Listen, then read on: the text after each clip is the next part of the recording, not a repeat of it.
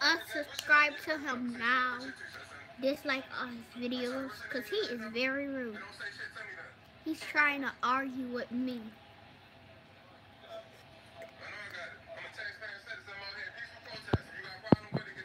Like I said again, he's trying to argue with me. Lying.